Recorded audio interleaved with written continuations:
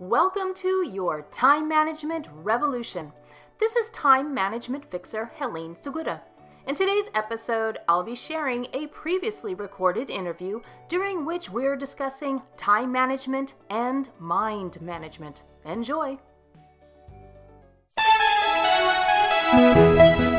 When you wake up in the morning, are you raring to go? Or do you think to yourself, what could possibly be the point? Doing what works will help you see it isn't too late to go after your dreams. We talk with experts about everything from getting in shape to finding work you love. We're your guide to a better life. Now, here's your host for Doing What Works, Maureen Anderson.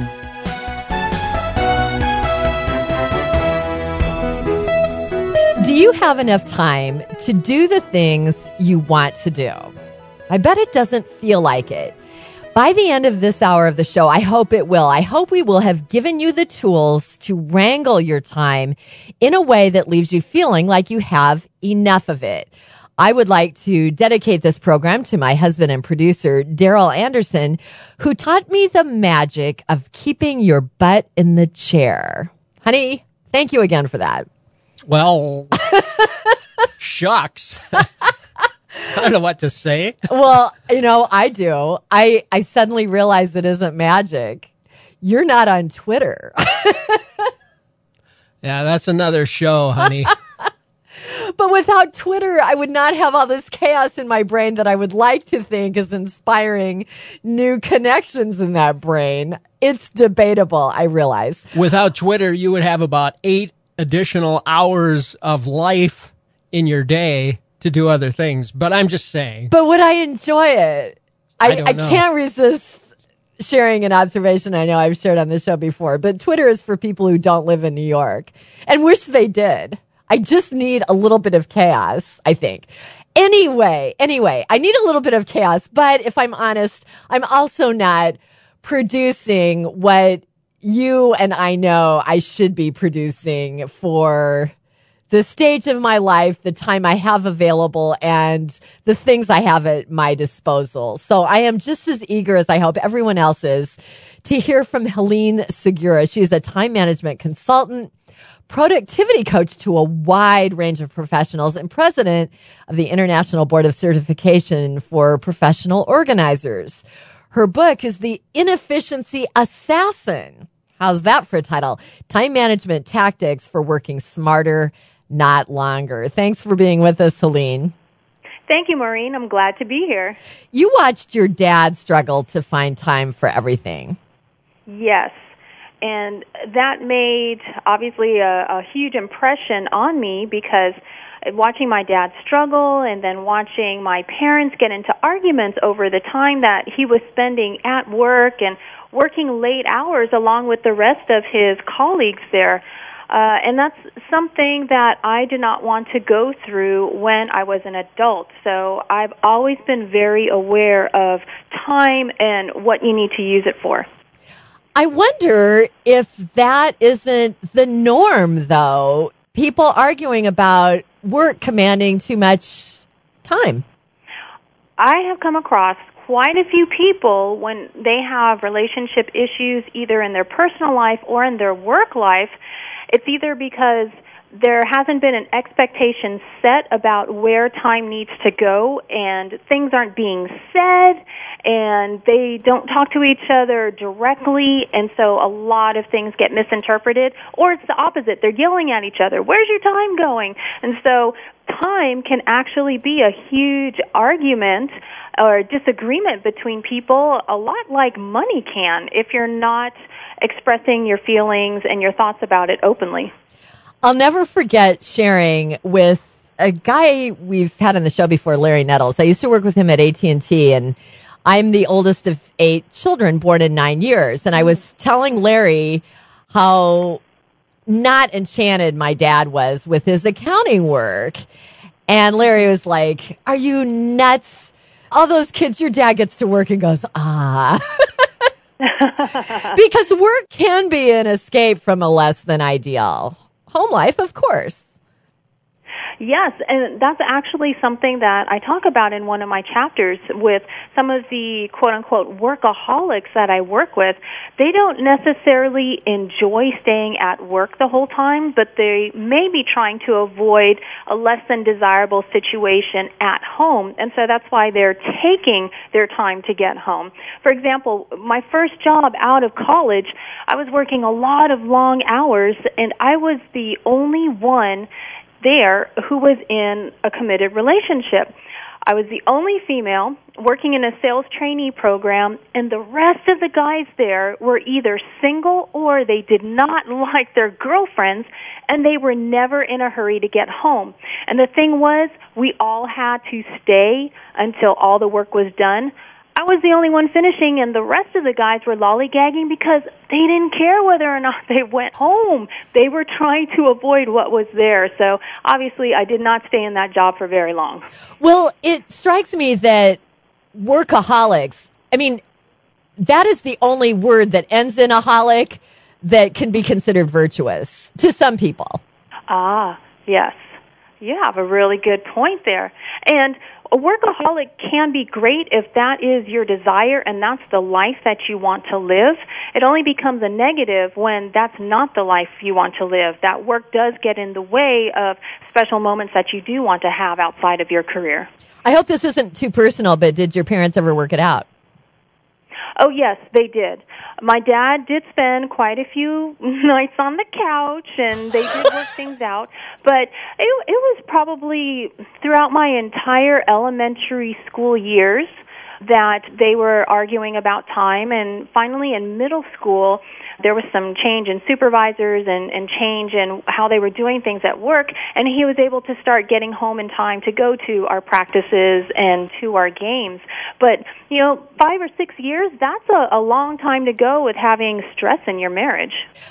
It strikes me too what the career coach Barbara Sher once said about the work we are meant to do, that it's probably born of an ache in childhood. And here you and I are, Helene, talking about our fathers, but I remember aching for my dad that he didn't like his work. And I'm sure that was a big reason I am devoting much of my professional life to trying to open people's minds to the possibility that they might actually enjoy their days on the planet. Mhm. Exactly. And I'm sure subconsciously somewhere in there all of those years of watching my parents, it, it planted that seed in the back of my brain. It just didn't come to fruition until several years after college when I realized, oh, this is something that I can teach. And then after that, oh, this is something that I can actually do as a business. But I think subconsciously, so much of what we experience when we're growing up, it, it affects us later on in our adult lives. When you look back on your career so far, is there one moment or or even period of a few months where you thought, okay, now I have I've turned some kind of corner. I am finally aligned and I know the path forward. Did you have a moment like that? I I think that happens probably once a year. I always feel you know, I always feel like I am on the right path because I get up every morning loving what I do. I have a great time all day long, even on what some people would consider bad days. And yes, there's some stress here and there, but even then, I still love what I do.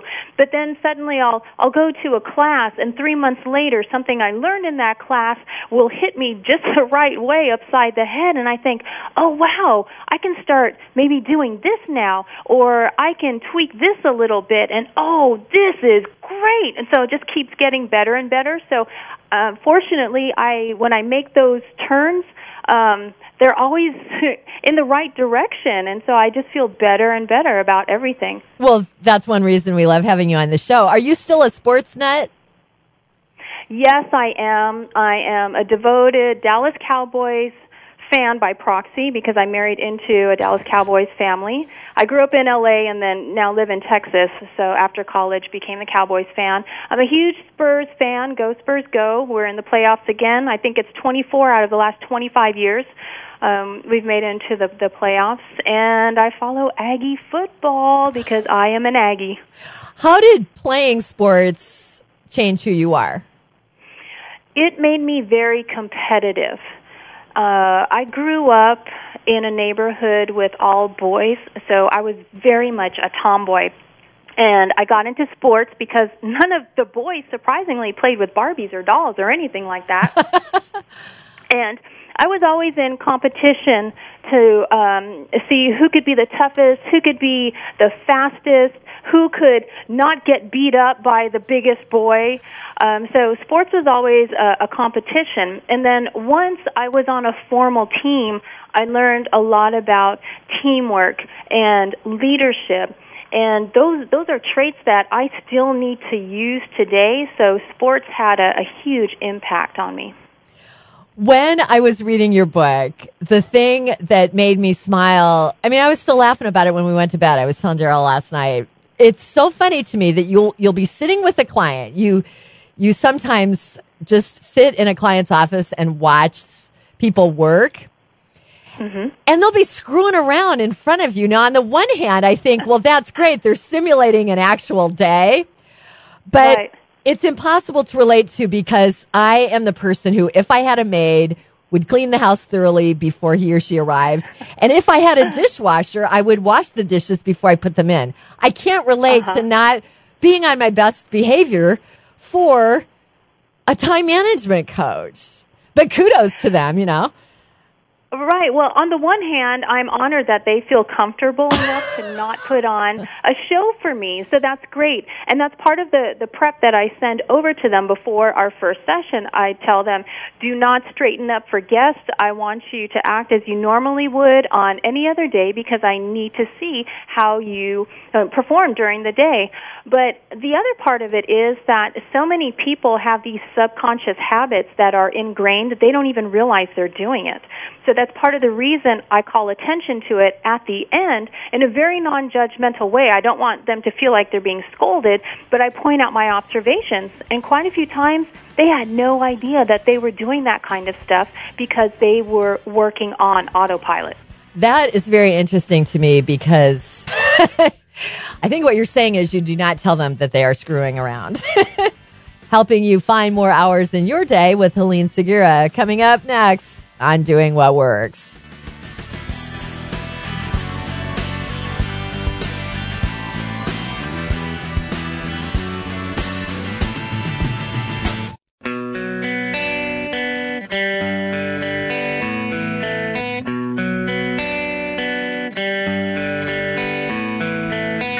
The entertainer John Tesh was once quoted as saying, he's really not that busy. And I was obsessed with that statement because it's John Tesh. That's one reason I was so thrilled when he agreed to join us on the show a few years ago. I was asking him to uh, explain himself, and he said, "You know, I I do my radio show, I do my concerts, I spend time with my family. That's it. I know what I want out of life, and I stick to it." And I thought, okay, that's the secret to life. I bet Helene Segura would agree with that approach to life. She's the author of The Inefficiency Assassin Time Management Tactics for Working Smarter, Not Longer. Helene, I'm going to tell you something that I have learned, and I hope it's just because I'm in transition, not because I'm destined to a life of non productivity. But Daryl and I have had many discussions over the past several months about the one thing that I should be doing with my professional life. And it has made me sweat a lot of other things that aren't happening a lot less. It has not, however, um, inspired a lot of progress on that one front. The big change I've noticed is that I feel guiltier about it, which is not uh, progress. But I mm-hmm. think eventually there will have been magic in deciding what the heck it is I'm supposed to be doing with my time here on the planet, at least right now. Well, I think going back to what you mentioned about John Tesh and him saying he knows exactly what he wants, that's a big part of it. And from what you've said, if you're feeling guilty about what you're doing or what you're not doing, you may not have found exactly what it is you want to do, or maybe there needs to be a different way to do it. And once you discover what it is that that's your focus for your career, your business life, your personal life, then you're in tune and you know that that's what you should be working on and everything that you do supports either that career path or that personal path that you want to take. And that's part of the reason why John Tesh doesn't use the word busy. Um, Ernest Hemingway had a really great quote. He said, Never confuse movement with action. And just because we're busy all day long doesn't mean we're doing anything productive. It just means that we're moving, we're typing, we're running around. But what is it that we are actually producing or completing? Is it better instead to have action where it's very purposeful and you are working toward that personal goal or that work goal that you want to have? Not to make excuses, let's just say I'm asking for a friend, but are people ever really afraid of success? I mean, really afraid of it. Do you feel that you're afraid of success? that didn't work, did it? um, no, I, I okay. I would say that. Go ahead. Uh, for I, I'm not afraid of, of success. Um, I think a lot of people are.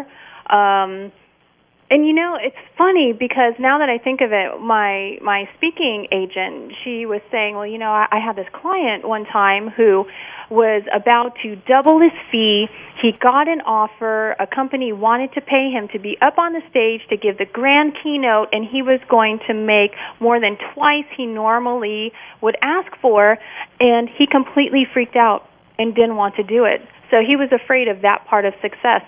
So I guess with uh success, uh, it's what I'm driving after because I know what I want, but I'm nervous about the job that I will do once I'm asked to do something. It's that recovering perfectionist in me.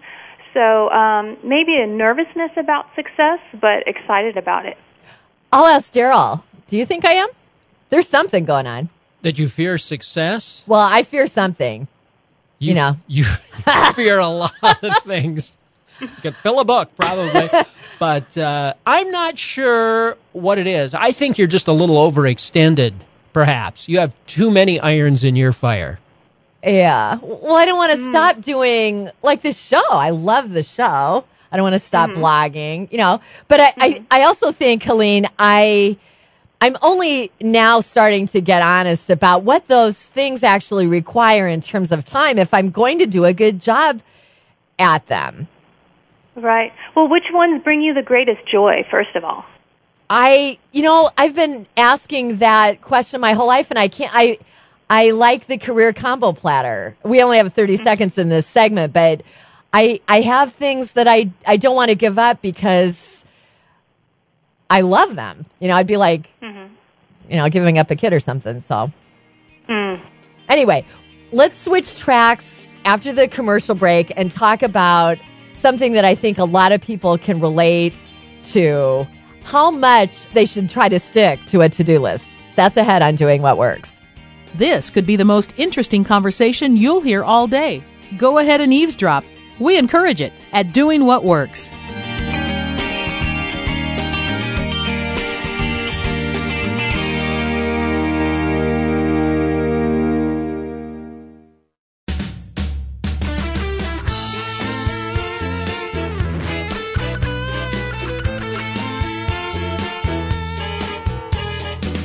The inefficiency assassin time management tactics for working smarter, not longer. Don't we all aspire to work smarter? Helene Segura joins us. You can learn about her work and the book at helenesegura.com.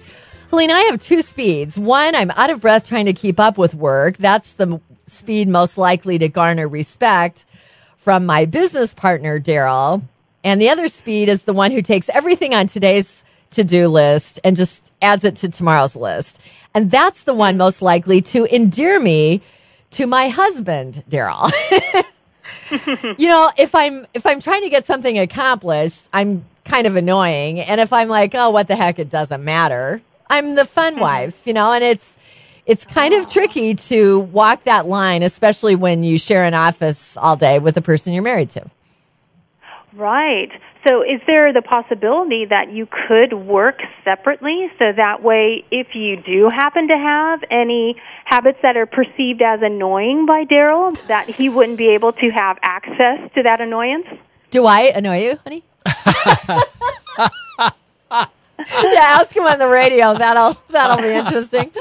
Oh, do you want the truth or shall I sugarcoat it? I want the truth only kindly. Yeah. Oh, what? Well, okay. Here's the truth. Yeah. And this is not Unique to us. restricted to us Yeah. or unique to us. Good way to put it.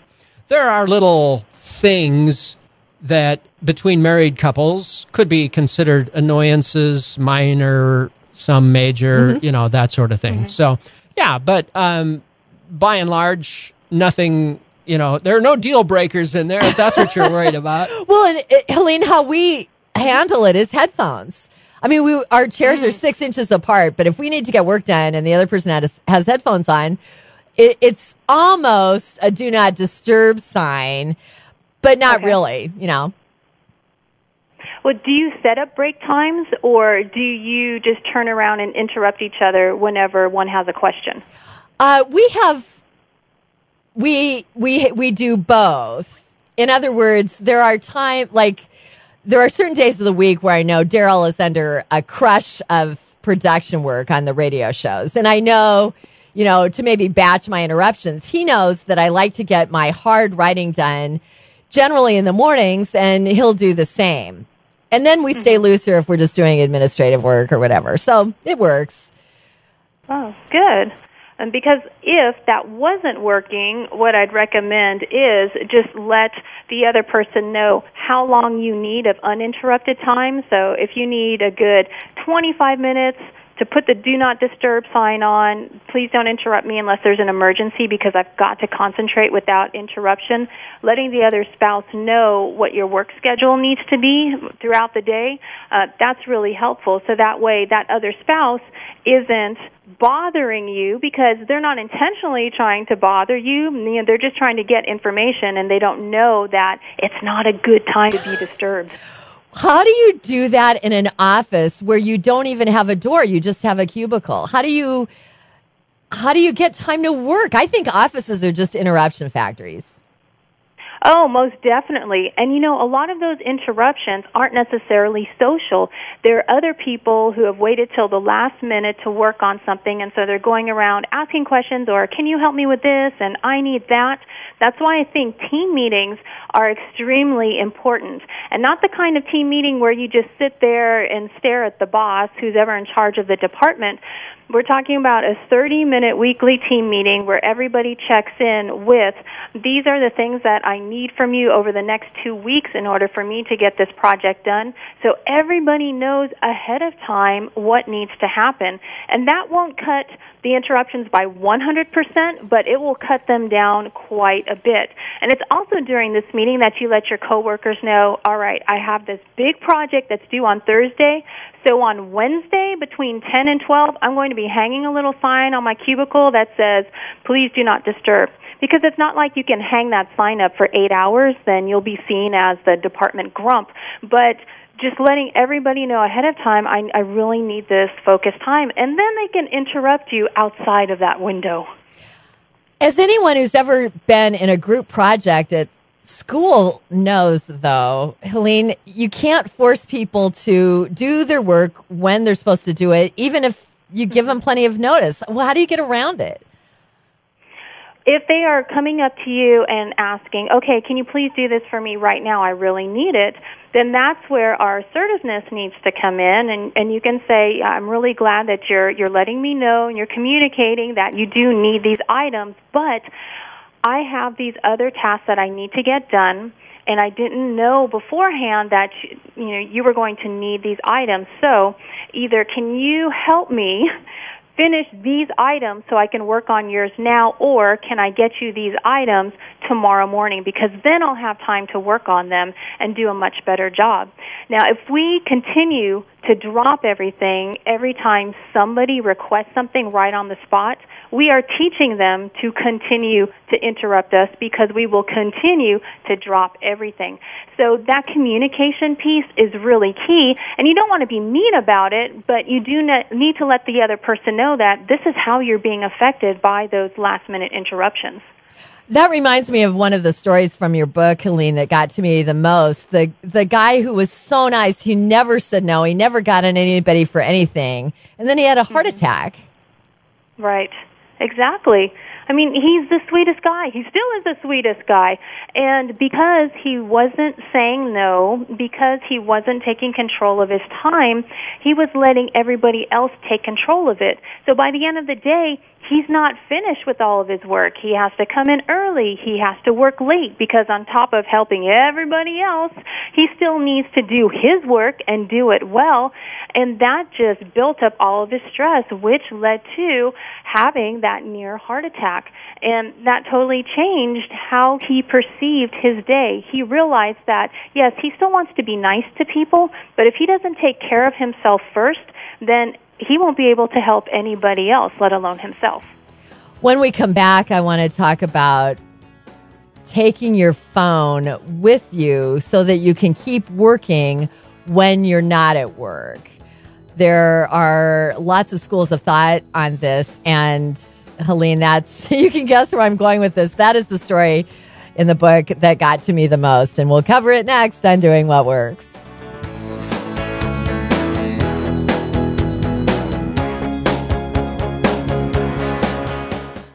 The following is sponsored by the Knock 'em Dead Career Management Books. Next is an old friend and a regular guest on Doing What Works, Martin Yate, New York Times best-selling author of the Knock 'em Dead career books. Martin drops by now and then to share advice on challenging job search and career problems. So, Martin, at a job interview, when a hiring manager asks that terrible question, what's your greatest weakness? What do you say? We all share weaknesses. Even you and I have weaknesses, surprising as it may sound. And there's one weakness everyone on the planet shares, everyone in the professional world, and that's managing to stay current with the technology that's affecting your job and your profession. So, in this instance, you start by talking about how the business is changing, the tools are changing, especially the evolving tools for productivity, and how keeping up with them takes a lot of time. And then you talk about how you are doing it. Right now, I'm reading about. I've just attended a weekend workshop. I'm in my fifth month of doing, and then you talk about a certification or a course you're doing that's relative to the job. It's a great answer. Or you can talk about how productivity has speeded up and how the importance for having powerful multitasking skills are much more important to success. Did you know that multitasking was one of the most frequently used requirements on all job postings? I'm not surprised. Employers are always looking to get the most bang for their buck. I imagine this and many other tough questions are covered in your book, The Knock 'em Dead Job Interview. In the Knock 'em Dead books, we have certain building blocks on which our philosophy of job search and career management is built. And one of these building blocks is a concept of learned behaviors or what we call transferable skills and professional values. And there are about 12 of them. And one of them is multitasking. And I explain how multitasking works. And it's not being pulled from one task to another. It's about staying on track and keeping your priorities right and using your time effectively. And if you read about it and you learn about the PDR cycle, that's the plan, do, review cycle, you can use this in your answer to an interviewer and they'll be wildly impressed about what you're doing to turn a weakness into strength because no one has enough time to do things. You admit this, you are honest about it, and you finish the answer by showing what you've done and how you're improving. For a special offer on Martin Yate's books and other job search services, visit martinyate.com and get 20% off anything in the Knock 'em Dead store. Enter the promotional code WHATWORKS. Again, that's martinyate.com. Learn to control your destiny.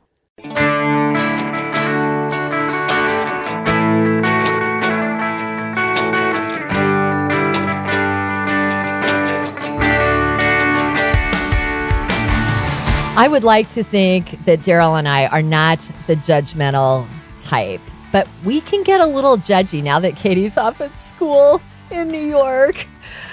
Sometimes we don't have a lot to do but watch other parents not be good parents. Isn't that awful to admit? But we'll be sitting somewhere and there will be this adorable little kid, you know, and the parents are just both glued to their phones. And sure, they could both be heart surgeons, you know, corresponding about the latest surgery coming up. But we just want to grab them and say, you know, the kid's right here. You're going to miss her so badly someday. Anyway, Helene Segura joins me on Doing What Works, and she wrote a book called The Inefficiency Assassin. And one of the stories she tells in this book is about a mom who takes her phone to her kid's ball game. You can take it from here, Helene. She took the phone to the ball game thinking, oh, I can get a little extra work done now. After all, I'm here with my kids. I am spending time with them. And her son was getting ready to go to bat as an email popped up on her phone. And she saw it was from a really large very important client, and she figured, well, I'll just answer really fast, and then I can go back to watching the game. Well, while she's typing up this email, all of a sudden everybody just starts yelling and shouting, and she's thinking, oh my gosh, what's going on? She hits send, and she looks up, and she realized she just missed her son's first home run. And, you know, that's not something that you can get back. And then he asked her after the game, Did you see my home run? And what's she going to do? She can lie and say yes, or she can be honest and say, No, I totally missed it. Either way, it's totally devastating to him, all because she felt like she should get a little more work in. And I meant to say this earlier in the program, Helene, about like my dad and, and trying to work at a job he wasn't that thrilled about. He's got all these responsibilities. On the other hand, I mean, people need to make a living and their bosses expect them to be on call all the time. And I don't want to pretend there's an easy answer. Sometimes you do need to be available to respond to an email. It's not something that is automatically wrong just because your kid's playing ball. On the other hand, I think some of us have more latitude than we realize. That's your point, right? Mm-hmm. Right. We put a lot of undue pressure on ourselves thinking, oh, because we have this phone, we should be able to answer anybody within 30 seconds. A lot of the world doesn't necessarily expect that. And if they do, that's something you can change by setting expectations with your clients, letting them know what your work hours are, what's going to be your response time on an email? Is it half a day? Is it by the next business day? The thing about the story that you just brought up, the one about the home run, is that she wasn't being required by her boss to work. She just felt like, oh, maybe I can get this done. Mm. That's what makes it all the more troubling for her. It's not that the boss is saying, you have got to be next to your phone 24 7. This is something that she did on her own and therefore could have been totally prevented. I want to see if I can guess the single tip in your book that probably stands to help the most people. Besides batching email, that's sort of a separate category. Turning off email notifications. Did I guess right? Mm-hmm. Yes, you did. because it's now, this siren call of, oh, it might be really good. Right. And, you know, our phones are like little hits of dopamine every time we reach over and we think, oh my goodness, I get this text. And somebody might like me, or I get to check this email or this Facebook notification, and we're pretty much addicted to our phones because we do get that hit of dopamine. And what people don't realize is that every time we switch tasks, it takes an average of 60 seconds for our brain to restart the average adult gets over a hundred emails and texts every single day. So if you have your notification on each time, that's 100 interruptions. That's 100 lost minutes. That's 100 minutes we can get back so we can use that time to get the important things done. And I'm not suggesting that you quit checking text messages and emails, but instead you check it when your brain is ready to receive it. So if your boss requires you to check email every 10 minutes, that's fine. At least you're getting 10 minutes of uninterrupted work when you're not having that notification go off because that's so much better, that 10 minutes of solid time just focused on one thing as opposed to constantly reaching over to the computer or to your phone to go check what that dinging thing is trying to tell you. I think the other thing people underestimate is the the ramping up time to get back into the task. It's not just the time spent on the interruption. Oh, yeah. Uh, there was a study by UC Irvine, and they were studying interruptions from coworkers, like we were talking about earlier. And what they discovered was when somebody was interrupted by a coworker, it took them up to 25 minutes to get back on their task after helping out that coworker. I mean, 25 minutes is a huge amount of time. So it's not just the time that they spent helping this other person. It's also, okay, now, now where was I? Where were these papers? What was I in the middle of? That takes up more time from the day as well. That's why there was another book, The Myth of Multitasking. The only entities that can multitask are computers and they're not even doing it. It just looks like it because they're switch tasking so fast. Did I get that right? Yes, task switching, and computers can do that because they're programmed to. Our brains are not programmed to do that. So when we're task switching, we're losing that 60 seconds each time in between those tasks. That's why I go back to it's so much better to just focus for 10 or 15 minutes at a time and then you can switch tasks and work on something else if you're tired of what you've been working on. And that way you're not flip-flopping, losing 60 seconds here, back and forth, back and forth, back and forth throughout that work period. When we come back, we'll help you find four extra hours. Four extra hours in every day. Is that worth hanging around for? I think it is. That's ahead on Doing What Works.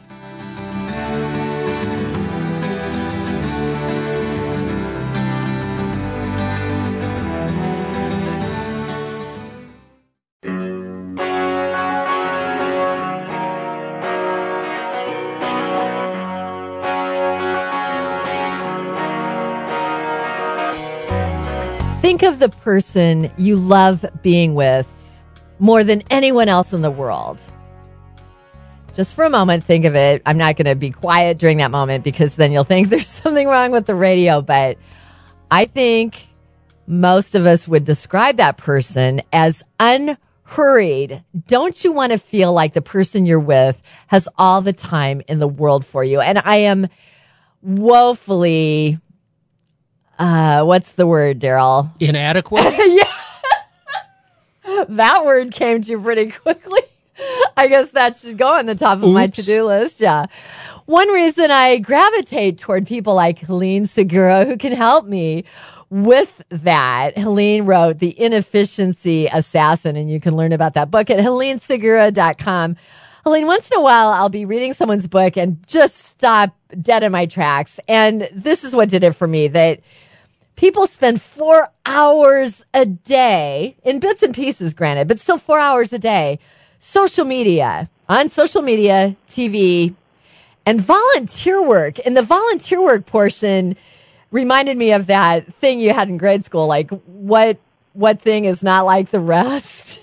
you know, I just mm-hmm. how do you do volunteer work in bits and pieces for starters? And I just don't see many people considering that like not goofing off, but you know, you know what I'm saying there. Mm-hmm.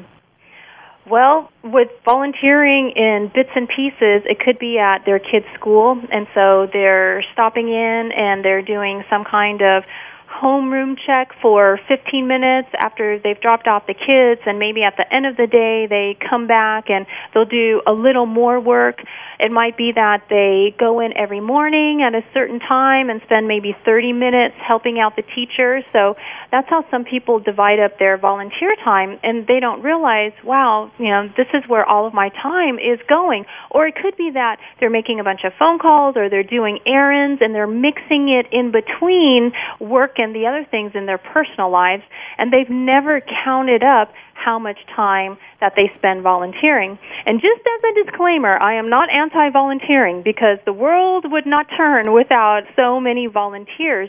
But it's important, just like with work, that we also make sure that we're using our volunteer time productively as well. Well, I think it's a great point. I'm glad you threw in that disclaimer. And it reminds me of a discussion I had with a girlfriend who felt guilty that she wasn't doing more volunteer work. I wasn't mm-hmm. doing any. And we're like, our kids are little. We have full time jobs. There are right. seasons for that, you know? Yes. Yes, exactly.